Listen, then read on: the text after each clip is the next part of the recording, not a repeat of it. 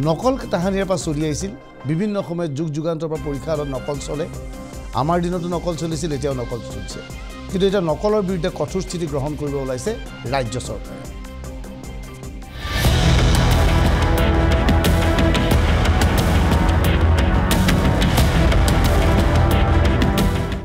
পৰীক্ষাৰ্থীসকললৈ আহ্বান ভুলতো নকল নকৰিব। নকল কৰিলে ধৰা পৰিলে এবাৰ বিপদত পৰিব। আৰু নকল কৰিবলৈ সহায়ো কৰি নিদিব। কিয়নো চৰকাৰে কঠোৰ আইন এখন আনিছে। আজি এই বিষয়ে অৱগত কৰিছে ৰাজ্যৰ শিক্ষামন্ত্ৰী ডাক্তৰ ৰণোজ পেগুৱে এজন ব্যক্তিৰ নামত আন এজনে পৰীক্ষা দিয়ে। প্ৰশ্নকাকত লিক হয়। লিক হোৱা প্ৰশ্নকাকতখন কোনোবাই বিক্ৰী কৰে। লিক হোৱা প্ৰশ্নকাকতখন কোনোবাই কিনে। লিক হোৱা প্ৰশ্নকাকত এখন কোনোবাই ছপা কৰে। ছপা কৰি বিলায় বা লিক হোৱা প্ৰশ্নকাকতৰ উত্তৰ কোনোবাই লিখি দিয়ে। অৰ্থাৎ পৰীক্ষা হলৰ পৰা প্ৰশ্নকাকতখন বাহিৰলৈ ওলাই আহিল। কোনোবা এজন লোকে তাৰ উত্তৰখিনি লিখি যোগান ধৰে। এই সকলোবিলাক ব্যক্তি এই অৰ্ডিনেঞ্চৰ অধীনত তেওঁলোক অভিযুক্ত হ'ব। এই কামখিনি অফেন্স লোৱা হ'ব আৰু ইয়াৰ বাবে শাস্তিৰ ব্যৱস্থা বিধান ৰখা হৈছে। Imprisonment to examinee. যিজন পৰীক্ষাৰ্থী তেওঁৰো শাস্তি হ'ব। any person or officials non officials মেনেজমেণ্টৰ মানুহ তেওঁলোকৰ বাবে শাস্তি হ'ব for a term not less than five years and extending till ten years fine of amount not less than ten lakh extending to ten crore in case of default of fine further imprisonment of two years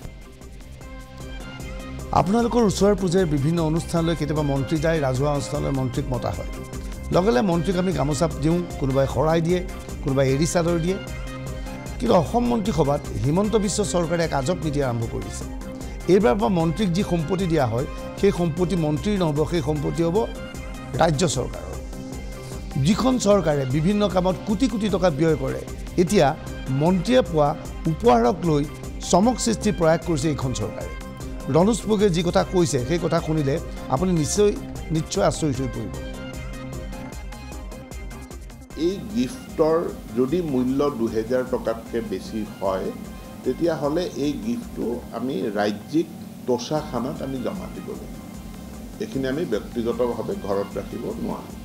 যদি মই ব্যক্তিগতভাৱে ঘৰত ৰাখিব বিচাৰোঁ তেতিয়াহ'লে তাৰ মূল্য minus rupees two thousand যদি দহ হাজাৰ টকাৰ গিফ্ট এটা মই নিজে ৰাখিব বিচাৰিছোঁ তেনেহ'লে দুহেজাৰ টকা মাইনাছ কৰি বিয়োগ কৰি তাৰ মূল্য আঠ হাজাৰ টকা দি পেলাই তোষাখানাত সেইটো দি মই ব্যক্তিগতভাৱে বস্তুটো আহৰণ কৰিব পাৰিম।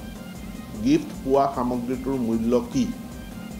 এই মূল্য নিৰ্ধাৰণ কৰাৰ কাৰণে a board will be notified to finalize finalize the valuation of the gift valuation of the gift will be done within one month The gift will be kept in the Toshakhana strong room under lock and key.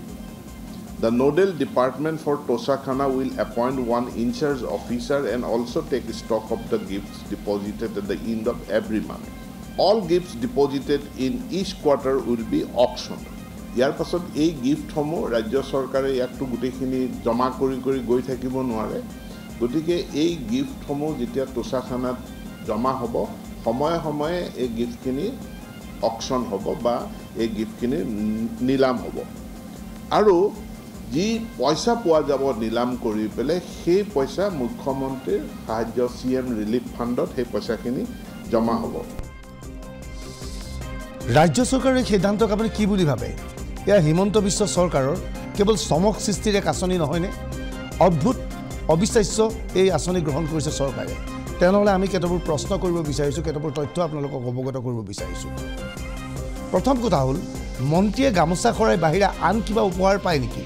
ৰাজহুৱা অনুষ্ঠানত আপুনি গামোচা শৰাই বা এৰী চাদৰৰ বাহিৰে কিবা উপহাৰ পায় নেকি? গামোচা শৰাই জাপি অথবা চাদৰৰ মূল্য প্ৰকৃততে কিমান হ'ব?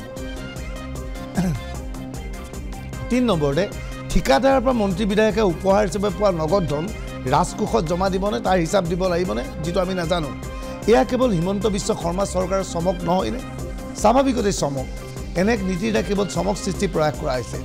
মন্ত্ৰীয়ে উপহাৰ স্বৰূপে পোৱা দৈ চিৰাও ৰাজকোষত জমা দিব লাগিব নেকি? যিহেতু সিদ্ধান্ত লোৱা হৈছে। মন্ত্ৰীয়ে লাভ কৰা উপহাৰ মূল্য নিৰ্ণয় কৰিবলৈ কমিটি গঠনৰ প্ৰয়োজনীয়তা কিয়? গামোচাখনৰ মূল্য কিমান হ'ব? শৰাই মূল্য কিমান হ'ব? সেয়া নিৰূপণ কৰিবলৈ কমিটি গঠন কৰা কিবা যুক্তিযুক্ততা আছে নেকি? এয়া কেৱল চমকৰ বাহিৰে আন কি হ'ব পাৰে? ব্যক্তিগতভাৱে মন্ত্ৰীয়ে লাভ কৰা উপহাৰ খতিয়ান কোনা ল'ব মন্ত্ৰীয়ে ৰাজহুৱাভাৱে সামান্য উপহাৰ পায় কিন্তু ব্যক্তিগতভাৱে মন্ত্ৰীয়ে বহু খতিয়ান পায়। মন্ত্ৰীৰ শৰাই গামোচা নিলামত ক্ৰয় কৰিবলৈ কোনোবা আগবাঢ়ি আহিবনে? এয়া হৈ চৰকাৰৰ চমক সৃষ্টিৰ বাহিৰে কি হৈছে? বহু গুৰুত্বপূৰ্ণ সমস্যা থকাৰ পিছত এনে অপ্ৰয়োজনীয় সিদ্ধান্ত লোৱাৰ যুক্তিযুক্ততা ক'ত?